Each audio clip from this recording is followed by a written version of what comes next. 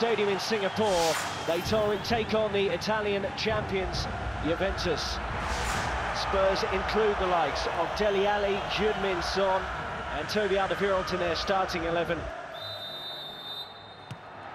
Juventus versus Tottenham Hotspur, a fixture many on in his kind of area. Heung-min Son for Spurs. And can't sneak it in.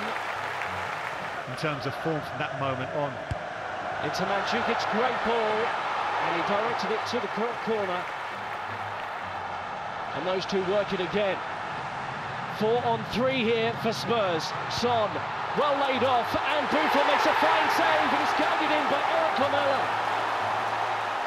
Troy Parrott denied on the first attempt, but Lamela was there to beat Buffon. Spurs have been the better team, and on the half hour, they lead Juventus. The foul to me on the edge of the penalty area. We play on. I believe it was. And uh, Pjanic, Higuain, oh, well worked. Gonzalo Higuain buries it. And he is a true finisher, and he's done it against Tottenham Hotspur before in the Juventus shirt. The man back from Chelsea has made it Juventus 1.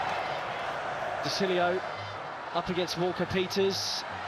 A good cutback, and it's deflected into the net. And Ronaldo has his goal, and Juventus have turned this around.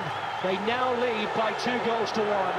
And there is the iconic celebration of Cristiano Ronaldo. Gisard to win the ball in the Juve half, and what a pass for Lucas Moura. He's assisted the equaliser. Spurs are back level against Juventus. Great work by Ndombele, and Lucas Moura has stabbed it into the net. What an immediate impact. Brilliant work again by Walker Peters. Thought he was excellent in terms of his hold-up play. I can see him being a, was an opportunity here. Kane, what has oh! he done? Oh! What a goal to win it! Szczesny's caught out. Harry Kane has scored the goal of this tournament. That is extraordinary. Tottenham Hotspur 3, Juventus 2. How did he come up with that? Very special indeed. That is it. Tottenham Hotspur have won their first game of pre-season in the most extraordinary style.